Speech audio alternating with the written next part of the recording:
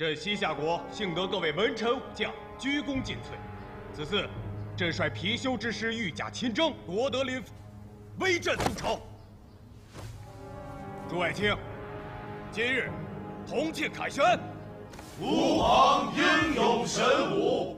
待我师稍作休整，再图对宋用兵大计。到那时候，我们就把庆功酒摆在宋国的汴京城。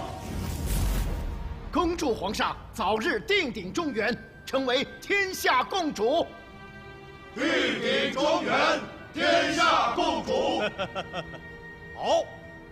定鼎中原，天下共主。